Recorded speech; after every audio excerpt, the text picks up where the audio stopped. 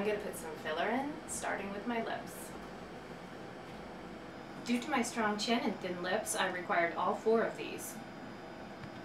If your chin is much more prominent than your lips on your side view, your lips may require much more filler than you expect.